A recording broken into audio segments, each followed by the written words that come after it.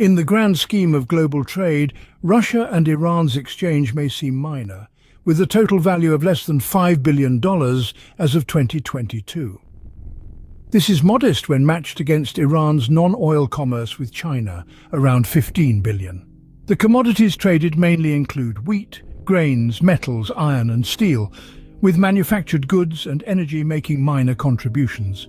Fluctuations in trade volume have been observed, with a noteworthy upswing in 2016 and dip in 2018. Agricultural products account for a third of the 3 billion total exports in 2021. By October 2022, the total turnover was 4 billion, aiming at 7.5 billion by 2025. However, precise figures remain elusive due to various trade alterations. But one thing's clear.